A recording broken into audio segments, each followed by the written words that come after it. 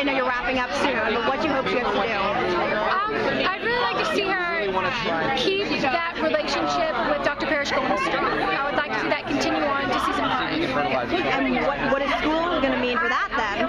Well, who knows? You know, I think she might do some night classes like that. Because, See you. as we all know, on-the-job training is Sounds really like the best. relationship that everybody always wants to know about. Getting closer and closer to maybe. Uh, the promo pictures are 47 seconds. Look like there's How is cute uh, Alexis and Castle moments. else in What your can you opinion? tease about that? Your character Well, you know, specific. Alexis and Castle, let's just face it, they're always cute. It would affect me.